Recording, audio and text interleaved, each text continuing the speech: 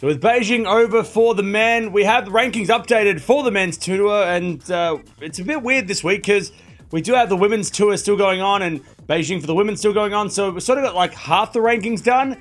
Uh, but let's have a look at who actually won last week and what the results were. So we had two 500 events last week on the men's side, starting with, in Tokyo, Arthur Fils, beating Humbert in the final, saving championship points 5-7-7-6-6-3 to lift his second ATP 500 trophy. And Carlos Alcaraz, he beat Jannik Sinner in an absolute epic 6-7, 6-4-7-6 to lift his fourth trophy of the year and to make it three in a row against Jannik Sinner this year, the only guy to beat Sinner multiple times this year. So two really, really good finals on the ATP side. All right, let's have a look at the players that have gone up in the rankings this week after some big results. Humbert making the final of Tokyo. He's gone up four spots, number 15 in the world. Fils, after winning in Tokyo, he's gone up three spots to 21 in the world. And Bu, the biggest mover so far in the top 100, getting to a career high 69 in the world, 27 spots higher than last week after making the semi-finals in Beijing. So some players there that did really well in the 500 events, getting a lot of points. Players went down in the rankings. Sebastian Korda, he goes down three spots number 19 in the world. Mannarino, he goes down nine spots to 53 in the world. And Ofner drops 12 spots to number 70 in the world, all because they lost points from this time last year. And there's some big drops there as well, because remember, this time last year being the 500 events, if you made a semi-final of those events, we saw with Bu,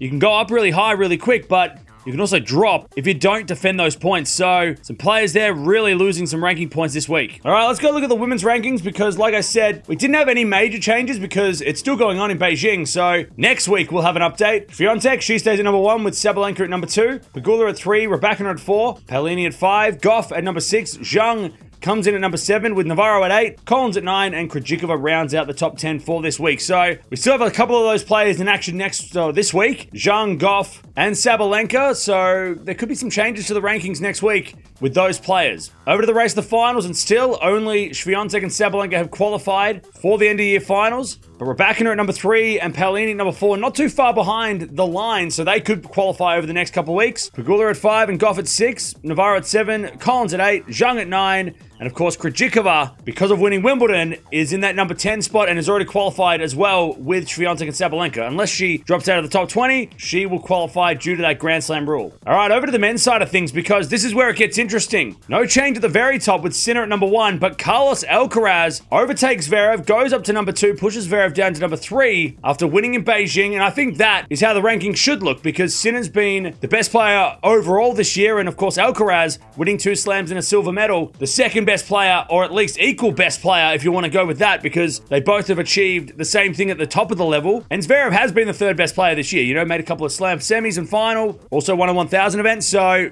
that is the top three, and in the right order, I think. Djokovic, he's still at number four for now, with Medvedev at five, Rublev at six, Fritz at seven, Hurkacz at eight, Ruud at number nine, and Dimitrov rounds out the top 10 for this week. But with Shanghai coming up next week, it's worth a thousand points. And especially with Hubi Hurkacz not playing in Shanghai, we will have some ranking changes next week, no matter what. Over to the race to Turin, and again, only the three players qualified for now, with Sinner, Alcaraz, and Zverev qualify for the race of the finals. Medvedev comes in at four, but he's not too far away. If he plays or wins Shanghai, he will qualify for the end of year finals. Fritz comes in at number five with Ruud at six, Rublev at seven, de Minaur at eight, Djokovic at nine, and Dimitrov rounds out the top 10. So no changes to the race of the finals this week. But as I said, 1,000 points on the line, Shanghai next week. It's going to be a big tournament and a big opportunity for someone like Novak Djokovic to gain some much needed points and put himself really into that race of the finals. If he wins in Shanghai, he will be well and truly in the hunt for a spot at the ATP finals. But at the moment, only three players qualified. Medvedev not too far away, but then it's pretty open